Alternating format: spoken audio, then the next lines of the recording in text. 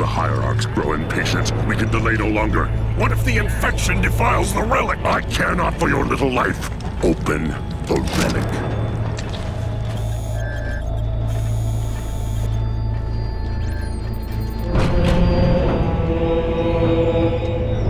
Well, well. Open sesame.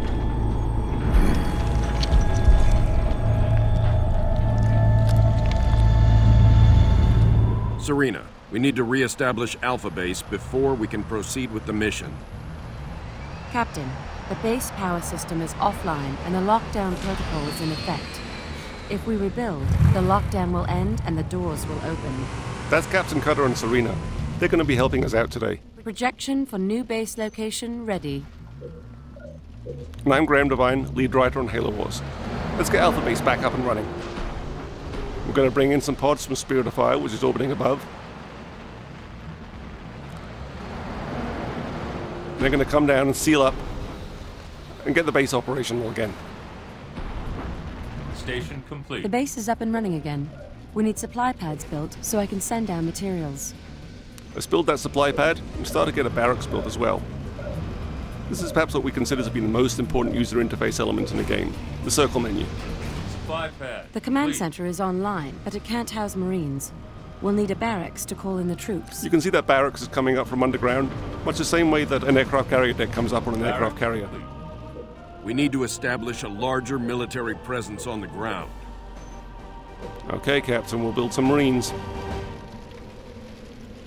Let's start to move around a little bit. Let's Select Sergeant Forge, one of the hero units, by selecting him with the A button and moving him with the X button.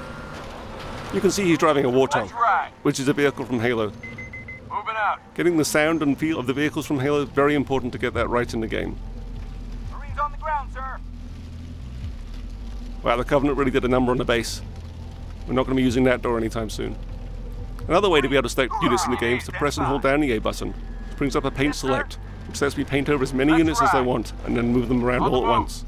Marines, So I grab those. Marines, move them up towards the working door. The lockdown is lifted and the front gate is opening. I've highlighted the area where Sergeant Forge found the structure. Enemy engagement. I'm going to select all of my units by using a shoulder button here. Rolling. Let's Let's go. move them out and engage the Covenant.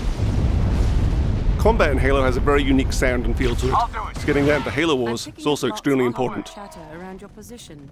Looks like You might hear those grunts saying quite a few little funny lines. Take cover of those down pelicans! Move! On the way. I'm going to move my Marines up there and put them into cover to provide them more protection. Orders. Moving up. Meanwhile, there's two Wraith tanks firing at me. I'm going to take out that second one with a carpet bombing run from Spirit of Fire. I'm going to point it, aim it, direction, and go. Enemy engagement. Taken care of. us. Let's move my Scorpions up, take out that Wraith.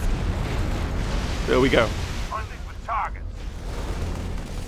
All units. Let's move.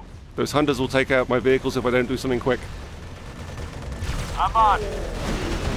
Let's finish off that Wraith tank. You bet. Move up further north. I brought in some Hornets flying up in the air.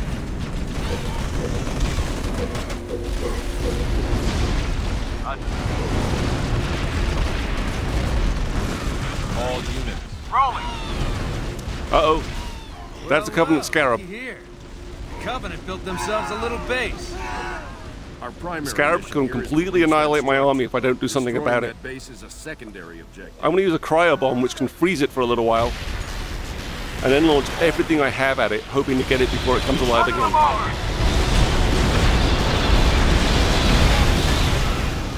Great, it's down. I'll get them. Let's move in on the base.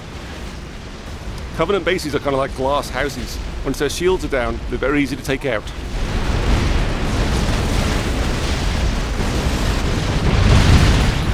There we go. And that's it for the Covenant. But there's one more enemy you're going to be fighting in Halo Wars the Flood.